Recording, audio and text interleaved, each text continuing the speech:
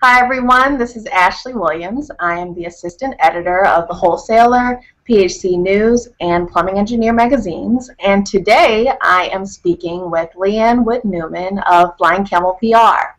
Um, she's taken the time to speak with me because her PR agency actually coordinates the social media for the Kitchen and Bath Industry Show, better known as KBIS. And today she's going to speak to me a little bit about what KBIS does with their social media strategy, as well as what special things they do um, when you're live posting. Um, so I'm going to let Leanne introduce herself, and then also, Leanne, can you go ahead and tell us um, about the general goals and the things that you all do with social media for KBIS? Hi, everybody. Um, as Ashlei said, I'm Leanne Wood Newman, and my agency is Flying Camel actually the full name is Advertising Design and PR.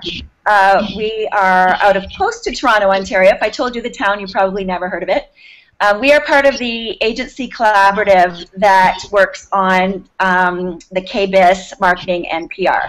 My part, I work with two other agencies on this, O'Reilly De Palma out of Chicago and White Good out of Pennsylvania. Um, my part of, of kind of the overall um, scheme of of PR is the social media. So my team has been leading the social media since December of 2012.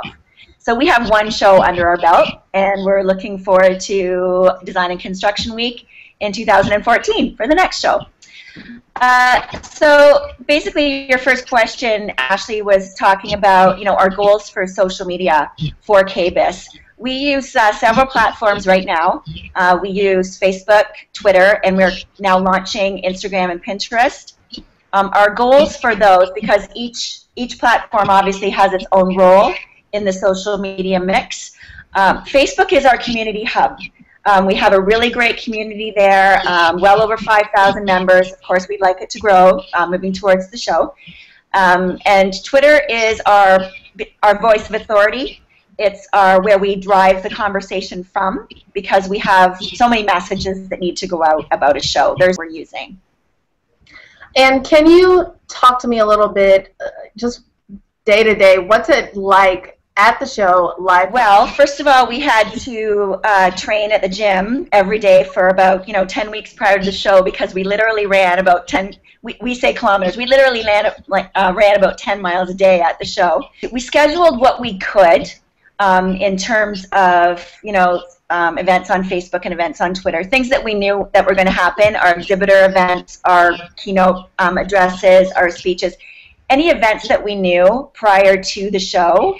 Um, we tried to schedule as much as possible. But one thing that we were very passionate about is making sure we really captured the buzz on the floor um, and in the events so that we were really getting a good sense of what was going on on the show floor.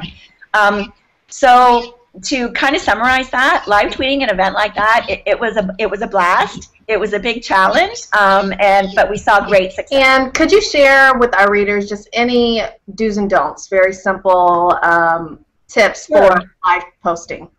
Um, like for, I often say to people, uh, like our audience, there are a lot of them own showrooms or or design studios or something like that. If they have the opportunity, if they're having a customer appreciation event or something, you know, like that, that that they could have the opportunity to do live social media, absolutely try it out because it, it you know it, it is such a good marketing tool. You can you can talk about it before during and after so it's really good content for a small business. So what i would recommend um, for live tweeting like our show and perhaps their event um, would be schedule what you can um, ahead of time you know give give your audience fair warning you know we are going to be at we are doing this um, at 9.30 you also have to interact you can't just be pushing pushing pushing the information out you need to be seeing who is responding to you. We were getting lots of people asking questions last year. Mm-hmm. Um, so we couldn't ignore have wireless. Uh, make sure you're ready to go with the apps on your phone. However you decide to, to do the event, make sure that you're all set up. Um, if you're going to use a hashtag, make sure it's something that you communicated before. Don't make a hashtag up on the spot just because you think of it.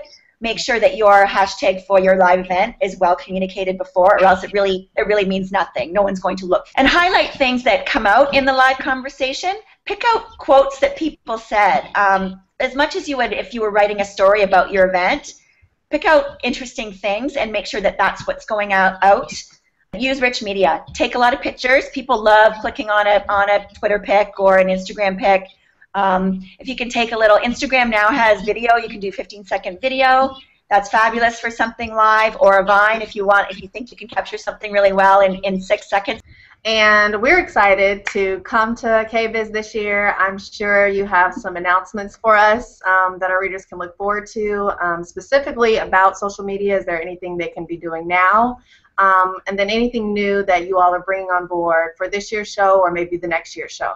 There's some hashtags that we use. We use hashtag KBIS 2014. A new one that we're using is hashtag um, DCW 2014 and that's going to be the whole um, that's all the events in and around design and construction week and our co-location with the builder show for next for next year so that's really important um, yeah and just uh, get a sense of the community what we're doing and the kind of information um, in terms of what's new um, as I said, we are adding we're adding a little bit of an inspirational piece. We're, we're gonna um, we want to inspire our community as well. So we're gonna be doing some really fun things with Instagram and some really fun things with Pinterest.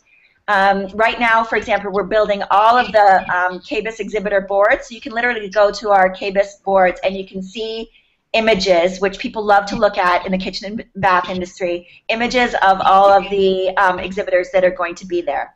So, so that's that's important too. For next year, our goal is to start developing our Google Plus communities. While looking at home, can look out for a Q&A in print that I did with Leanne um, about KBIS and about live posting. And to close, I'm going to let Leanne leave you all with her social media and contact information. Sure. Uh, I am at Wood Newman. Pretty, um, pretty simple. My last name.